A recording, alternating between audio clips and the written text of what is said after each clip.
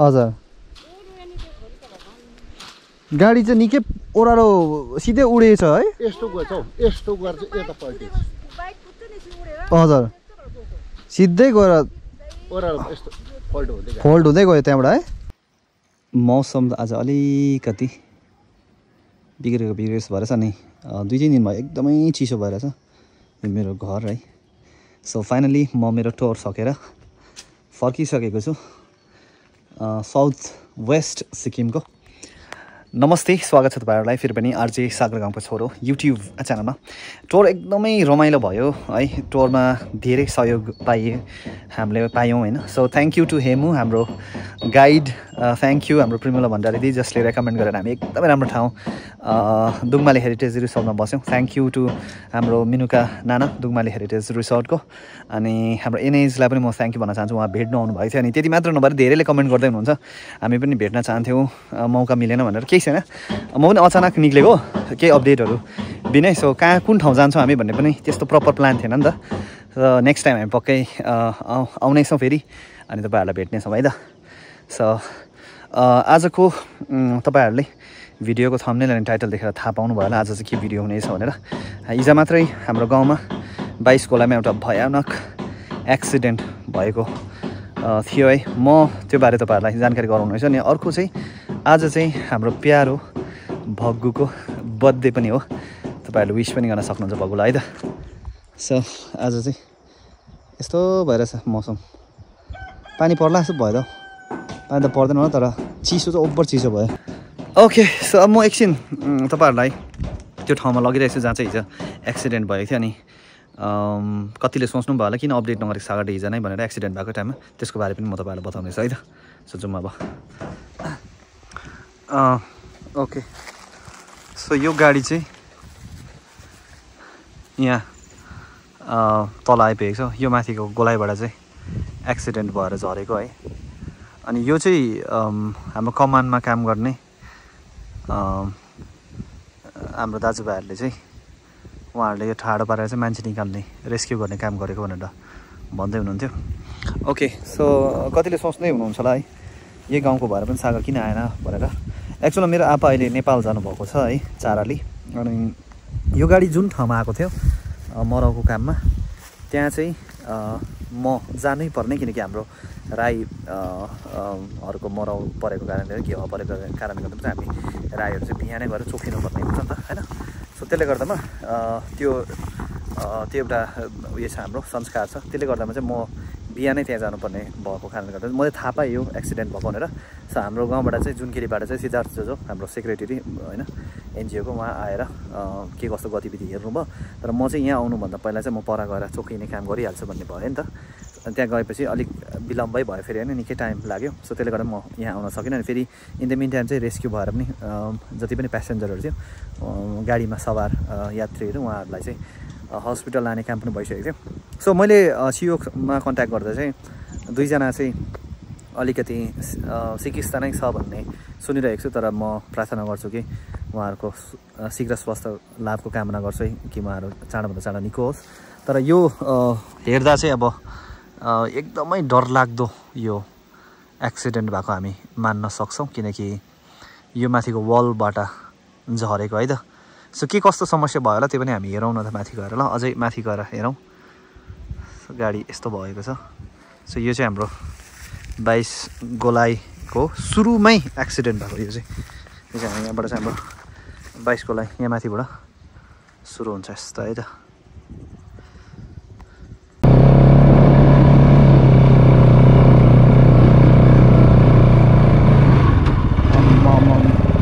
यहाँको प्यारापेट उडाएर गएछ अन्त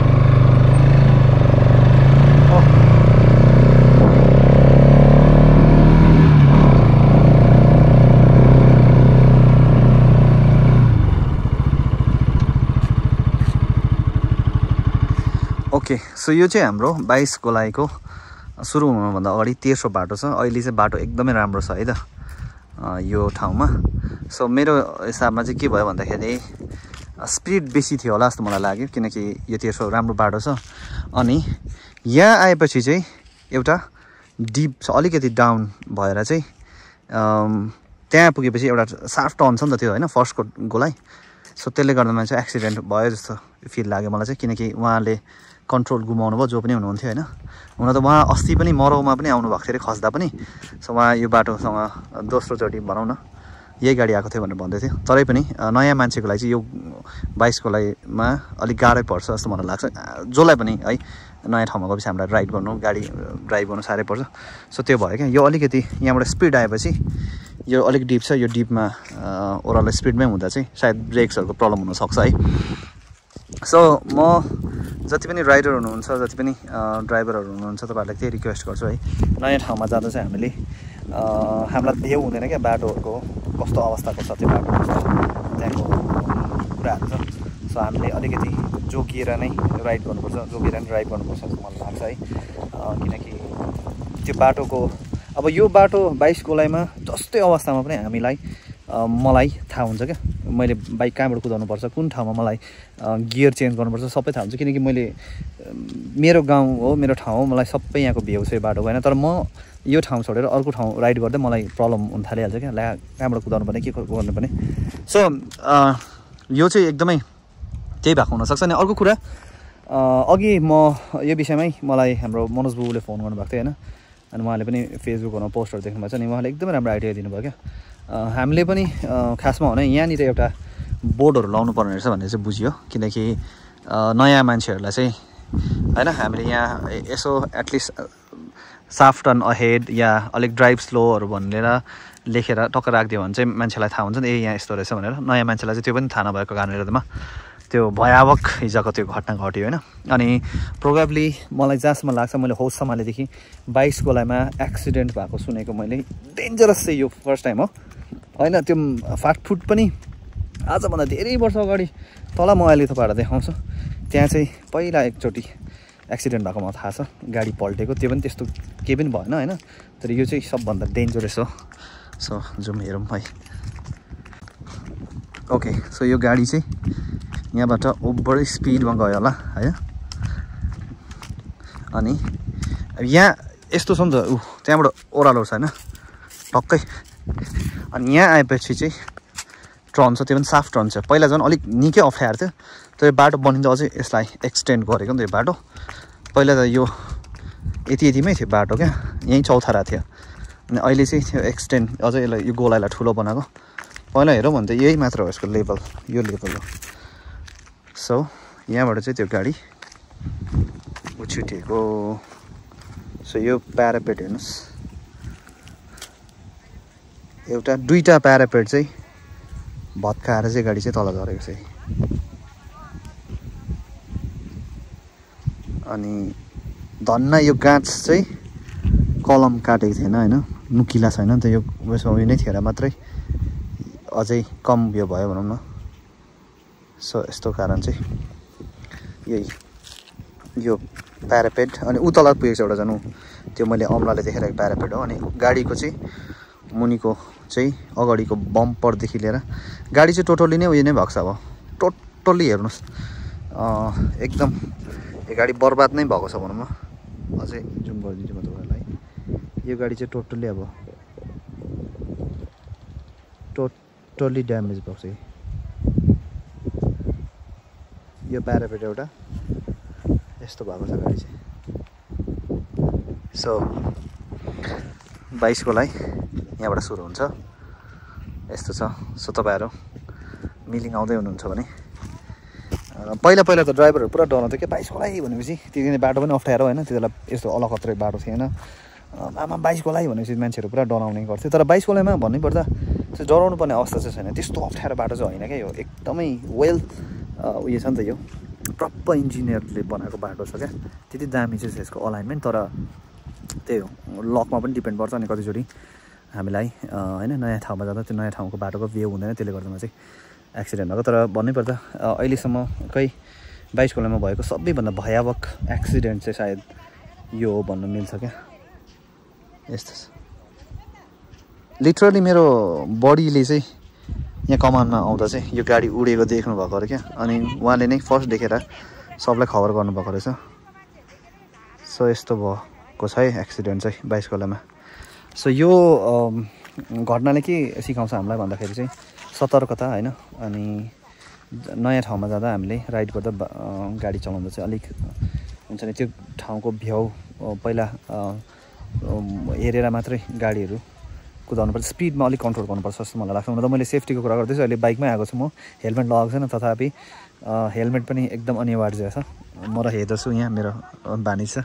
हामी चाहिँ जस्तो इमर्जेन्सी आएको अनि त्यो भएर चाहिँ मैले हतार हतारमा भएन नि त हो हेलमेट पनि लगाएन।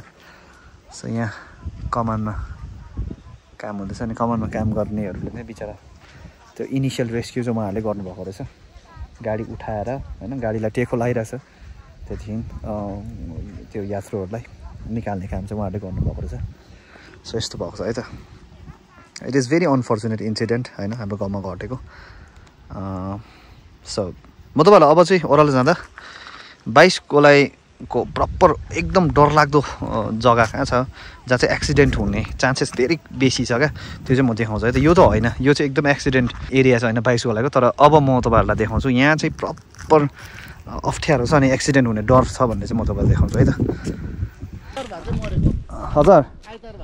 आइतबारहरू भए चाहिँ गोर पाउँथेन है। धन्न कमानको थिएर हजुर। गाडी गाडी ठाडो कसले बनायो अन्त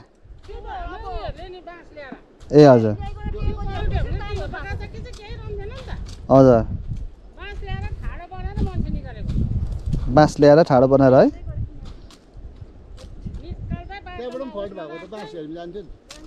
त्यहाँबाट फल्ट भएको त त पुग्थ्यो नि बाँस गाडी के स्पिड थियो क्या गाडी अँ हौ त्यो छेउछेउ साह्रै नजा न ब्रेक लागेन भन्यो स्पिड थियो गाडी? ठुलो खोल्दै भयो नि। गाडी स्पिड थियो होला नि त।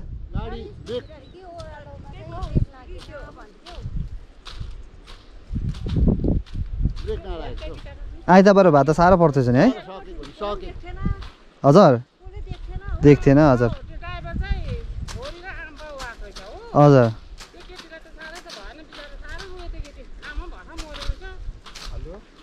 देख्थेन हजुर। हजुर हजुर गाडी चाहिँ निकै ओह्रालो सिधै उडेछ है? यस्तो गएछ हौ यस्तो गएर चाहिँ यता पल्टेछ हजुर। सिधै गएर ओह्रालो यस्तो पल्ट हुँदै गयो फोल्ड हुँदै गयो त्यहाँबाट है? यो गाडी उयो नै थियो कोल्टे नै थियो तपाईँहरूले उयो गर्दा जाँदा? को त्यहाँ? त्यो मान्छेको लोडले चाहिँ यस्तो भयो नि त। हजुर। त्यहाँ ओह्रालो जानु पाएन मान्छेको लोडले हजुर। मान्छे निकाल्दा त पल्टिने भयो नि त। हजुर। हो हल्का भएपछि अन्त केटाहरूले बाँस काटिकन टेको लगाएर चाहिँ निकाले। मान्छे निकाल्यो त्यो ऐना फुटाएर निकाल्ने चान्स पनि पाएन नि। दैलो त खोलिने कुरा आएन है? ऐना फुटाएर निकाले है। कतिजना थियो? छजना। थिएछ है अँ त्यही त। म त्यही त म पनि मैले त सुन्नु सुनेँ कि म पनि त्यही तल चोखिनु जानुपर्ने आपा नभएर हो। अँ त्यो भएर चाहिँ म आउनै पाएन बिहान। हजुर। हजुर होइन हाम्रो राईहरूको हो नि त फेरि।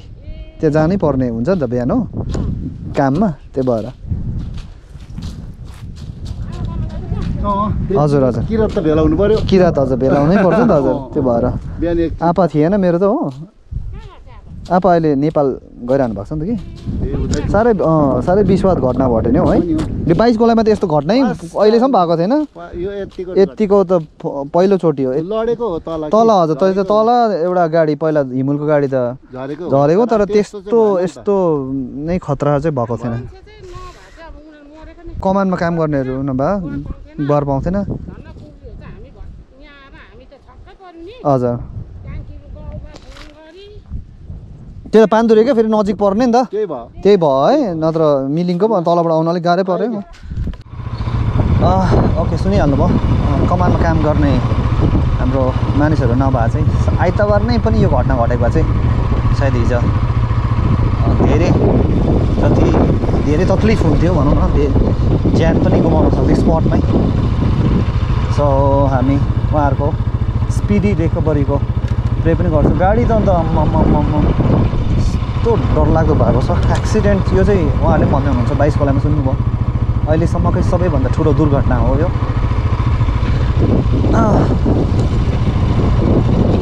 हेऱ्यो भने बाइस गोलाइमा एक्सिडेन्ट हुने लायकको गोलाइहरू एकदमै कम छ। यस्तो ठुल्ठुलो एक्सिडेन्ट हुनु सक्ने खालको गोलाइहरू। हाइट अग्लो भएको गोलाइ त्यो एउटा हो। यो गोलाइमा अलिक हाइट छ तर यसमा त्यस्तो समस्या नआउनु पर्ने हो।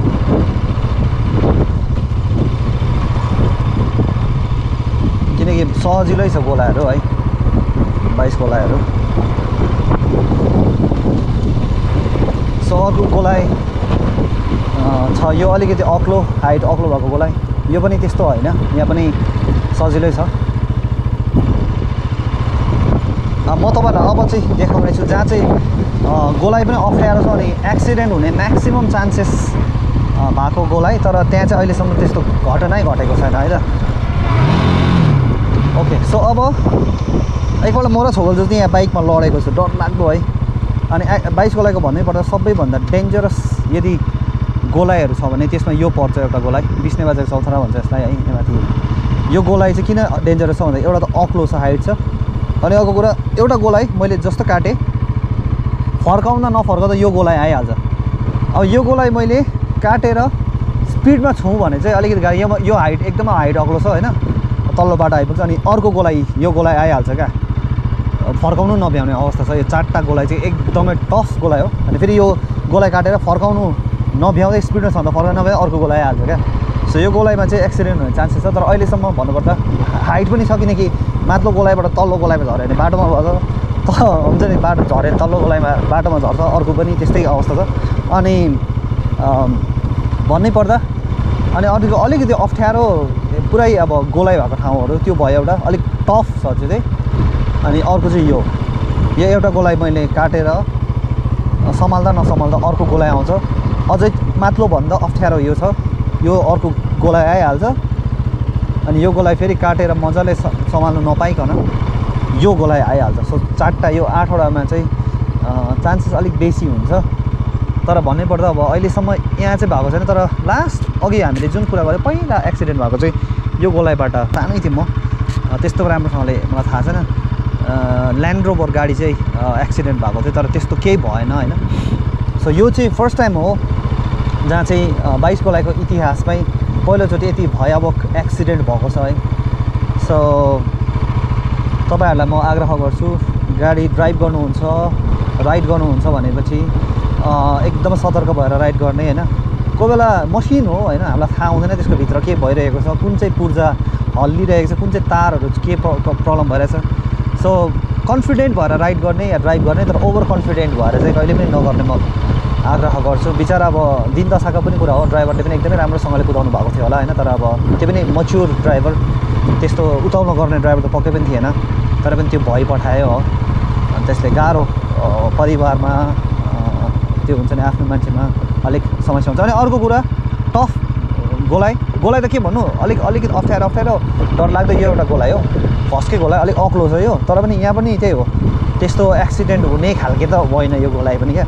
सो बाइस गोलाइमा हेऱ्यो भने बेसिकली त्यस्तो अप्ठ्यारो चाहिँ छैन। तर त्यही चारवटा आठवटा गोलाइ चाहिँ तपाईँलाई टाइम पाउँदैन क्या तपाईँले स्पिडमा छ भने चाहिँ गोलाइ काट्ने टाइमै पाउँदैन त्यति हो। तर अब त्यस्तो डरलाग्दो हुन्छ नि एक्सिडेन्ट हुने खालके ठाउँ चाहिँ पक्कै पनि होइन बाइस गोलाइ है त। सो यो चाहिँ हाम्रो गुम्बाको अहिले बाहिर पनि प्लास्टर सुरु भइसकेको छ। एउटा मन्सुर भइहाले गर्दै हुनुहुन्छ। यतापट्टिको त भनेपछि सकिसकेको अब। अब तल्लोपट्टि। अझ पिलर छ पिलर मात्र रह्यो है। पिलर रह्यो त्यहाँबाट त्यो भित्रको त्यो उयो रह्यो है। अझै भित्रको त अलिक अप्ठ्यारो पो रहेछ त। डिजाइन अलिक अप्ठ्यारो रहेछ है। त्यही त हुन्छ भाइ भयो त अब ल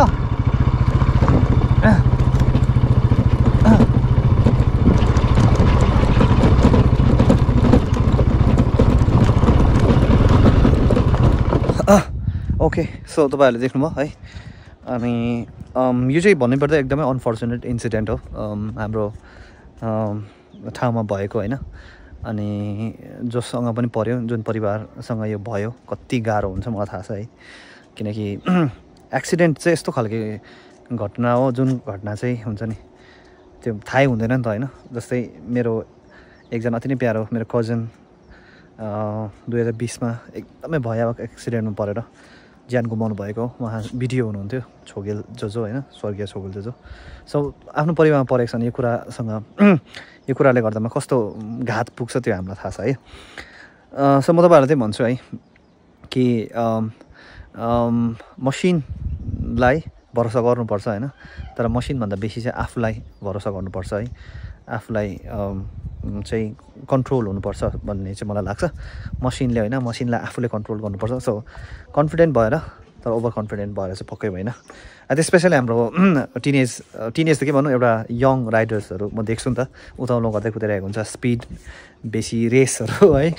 ड्राइभ अहिले त गाडीमा पनि त्यस्तै हुन्छ। सो त्यसलाई चाहिँ अलिकति कन्ट्रोल गर्ने है त।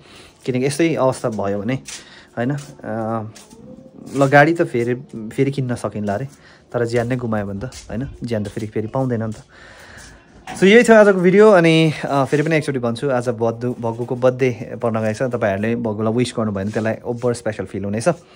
अनि यही छ आजको मैले तपाईँहरूलाई अपडेट दिएँ। मेरो ठाउँमा भएको यस्तो दुर्घटनालाई मैले हिजो नै किन लिएन भन्ने कुरामा पनि मैले तपाईँहरूलाई क्ल्यारिफाई गरिसकेँ। मेरो आपा अहिले नेपालमा हुनुहुन्छ सो त्यसले गर्दामा चाहिँ यो मरौको काममा म जानै पर्ने अवस्था थियो होइन? हाम्रो किराँती हुन्छ नि समुदायको थियो। त्यसले गर्दामा जे भए पनि हामी प्रार्थना गरौँ कि जो पनि अहिले हस्पिटलमा हुनुहुन्छ होइन मैले सुन्दा सिलगढी रेफर गर्नुभएको छ दुईजनालाई चाहिँ। उहाँहरू चाँडो स्वस्थ भएर घर फर्कियोस् होइन। अनि उहाँहरू स्वास्थ्य त्यो फिजिकल हेल्थ मात्र होइन यो जुन ट्रमा छ एक्सिडेन्टको यो ट्रमा भएर पनि छिट्टै बाहिर निक्लोस् भन्ने चाहिँ म प्रार्थना पनि गर्छु है त। सो भिडियोलाई प्लिज लाइक गरिदिनु होला। अनि मेरो च्यानललाई सब्सक्राइब गर्नुभएको छैन भने सब्सक्राइब गरिदिनु होला अनि कमेन्ट पनि गरिदिनु होला है त? हुन त आजको भिडियोमा त्यस्तो खासै मैले केही तपाईँलाई एन्टरटेनिङ दिएको त होइन जस्ट एउटा इन्फर्मेसन मात्र दिएको। सो मेरो गाउँमा भएको दुर्घटनाको है सो अहिले म बिदा लिन्छु बाई बाई सबैजना बब्बाल रहना चाहिँ नबिर्सन है त।